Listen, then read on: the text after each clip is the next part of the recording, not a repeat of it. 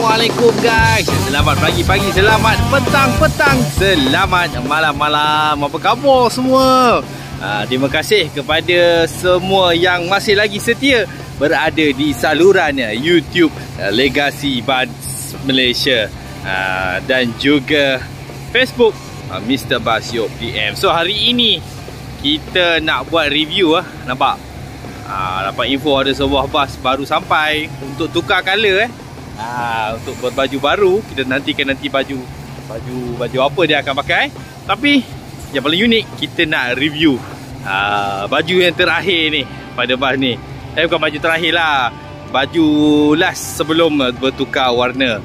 Ha, so inilah dia suatu masa dulu bas yang orang kata top lah ha, yang tertulis plus liner S3 so inilah dia salah sebuah bas dua tingkat uh, yang dimiliki oleh Plus Liner sebelum ini. Uh, so sekarang bas ni pun dah jual, dah ada owner baru yang dah beli.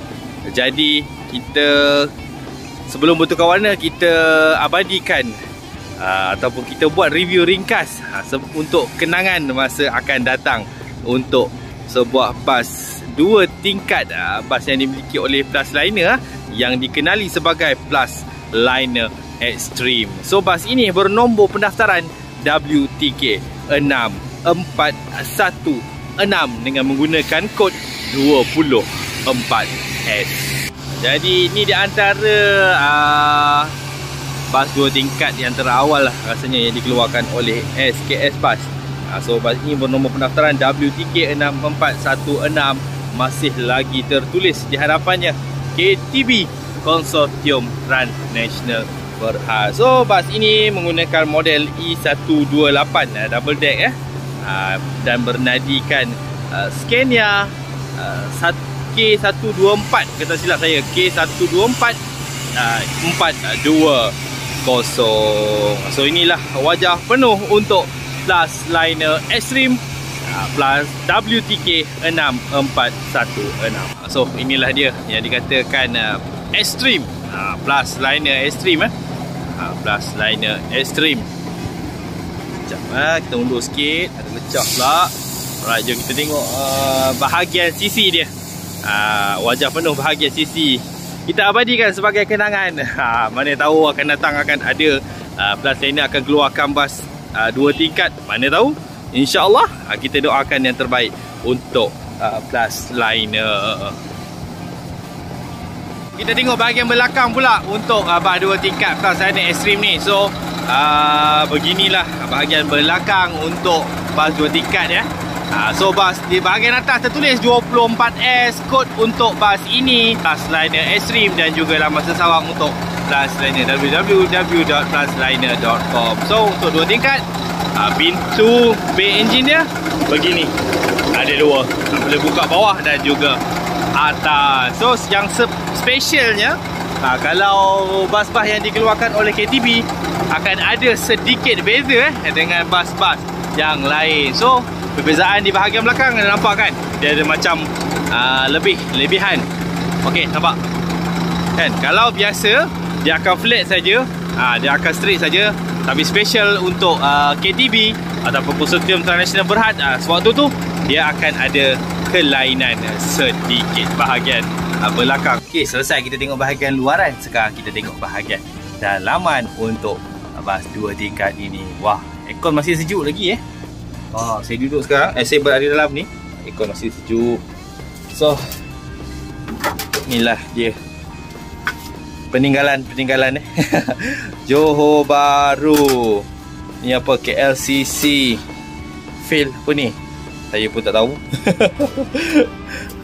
Atau ada lagi satu? Itu dia.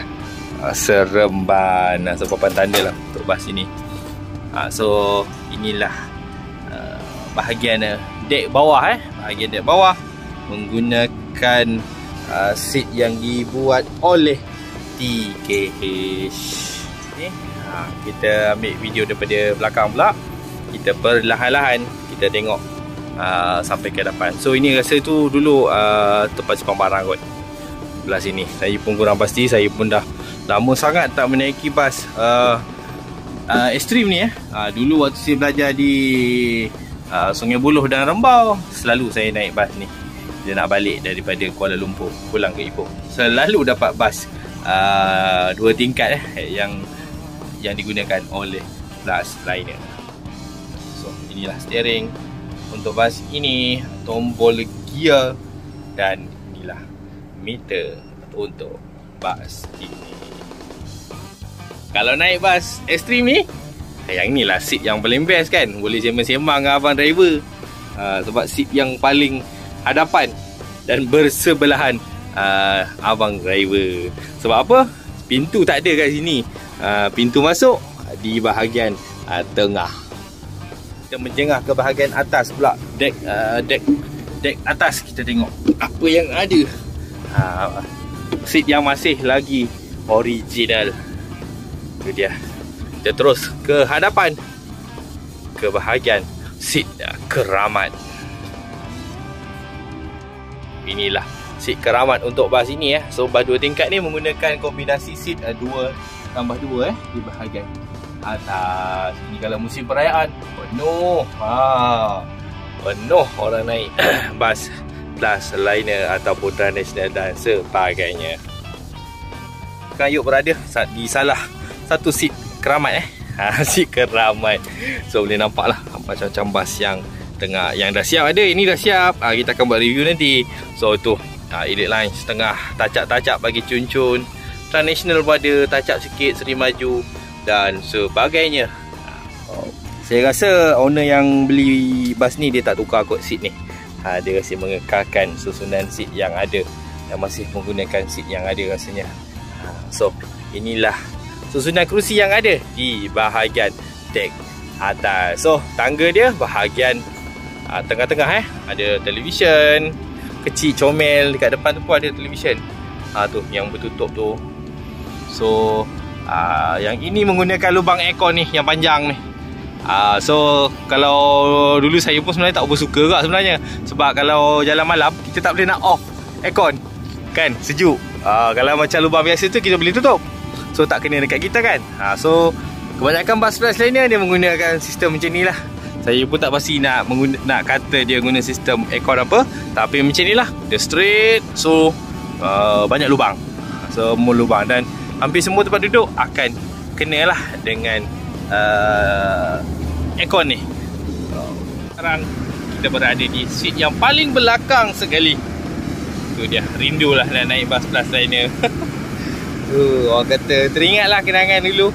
Waktu pelajar dulu Setiap minggu kita akan memilih plus liner uh, Sebagai uh, pengangkutan rasmi ya. Cik, pengangkutan rasmi ya.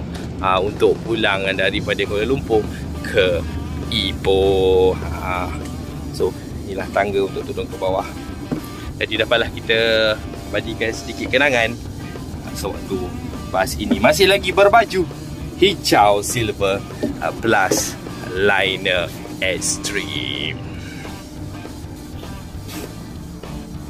Maka tamatlah sudah review kita pada kali ini uh, untuk bas plus liner extreme WTK 6416 dan kita berharap uh, jika ada rezeki kan manalah tahu plus liner akan buat comeback dan mengeluarkan uh, bas dua tingkat semula kita tunggu dan lihat. Dan kita hanya mampu berdoa daripada jauh. Uh, semoga plus liner terus maju di masa hadapan. So sekarang plus liner uh, berada di uh, bawah uh, syarikat Pak Meh Berhad so terima kasih kepada semua subscriber follower channel YouTube Legacy Bus Malaysia Facebook Mr. Basio DM uh, kerana sentiasa support Uh, konten-konten uh, yang uh, dikeluarkan ataupun uh, dibuat oleh Legasi Bus Malaysia.